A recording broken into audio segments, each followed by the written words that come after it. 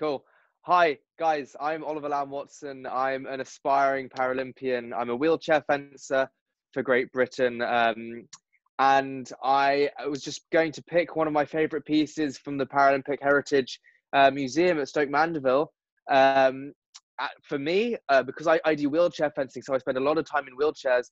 Uh, the one that really stuck out to me was the 1950s uh, wheelchair, which I, I, thought was really interesting because it, it just shows how far this kind of sport and the technology behind it has has developed. You know, I I used a wheelchair for fencing, and and it, it, couldn't be worlds apart from from this one with the corduroy. Although I love corduroy, I think it's it's a great material for my trousers. Maybe maybe not so much the wheelchair anymore.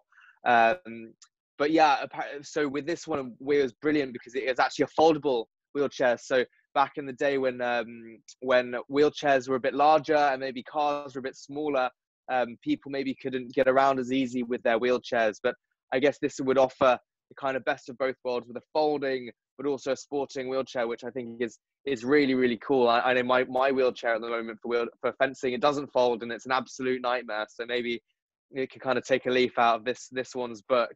But I think it's just amazing how far the sport has come, how far the movement has come, and how far the uh, the actual the athletes and, and the sport has has been elevated. So it's just a great throwback, and I love these kinds of things. And I guess it's what you guys are all about with the Paralympic heritage and just throwing back to that, and also kind of one eye on the past, one eye on the future. So it was a great, great piece for me that stuck out.